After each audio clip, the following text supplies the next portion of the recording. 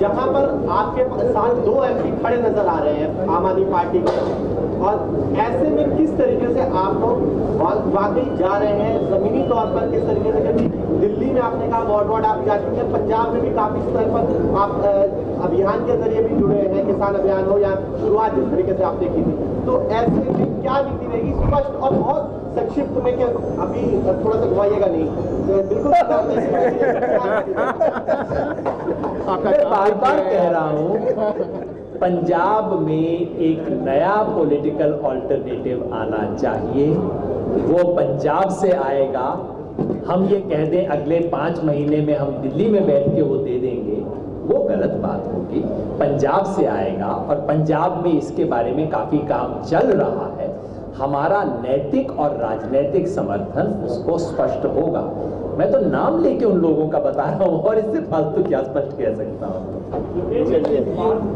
अच्छे सवाल जैसे इरादों की आप बात कर रहे हैं वही बातें और वही राजनीति के के साथ आप लोगों ने किए थी जनता को मीडिया से मेरा सवाल ये है कि क्या वजह नहीं है कि आप कल को प्रशांत जी को या जो आपके साथ बैठे उनको अलग करने और आप इतनी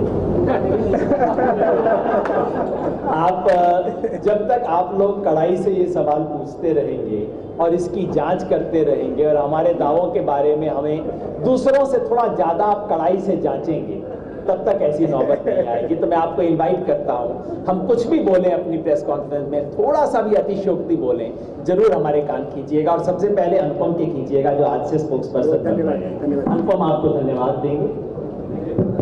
जो आज इस अहम मौके पर आने के लिए सवाल पूछने के लिए स्टेटमेंट तो देखिए दो तरह का होता है। एक जो आपके सवाल पर जो हम कहते हैं और दूसरा जो हम करके दिखाते हैं। तो पार्टी का गठन तो आज हुआ है, लेकिन हमारे काम का ट्रैक रिकॉर्ड पिछले 18 महीने का रहा है।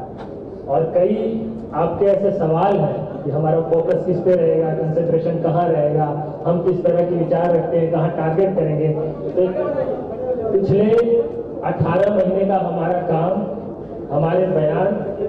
और एक और मैं बस रिमाइंडर के तौर पे आपका धन्यवाद करते हुए आपको याद दिला देना चाहता हूँ कि आज यहाँ पे कई जो प्रस्ताव पास हुए, उसमें से एक प्रस्ताव ये भी पास हुआ था एक स्वराज दर्शन है हमारा विजन डॉक्यूमेंट कई सवाल आज भी आए, आगे भी आएँगे।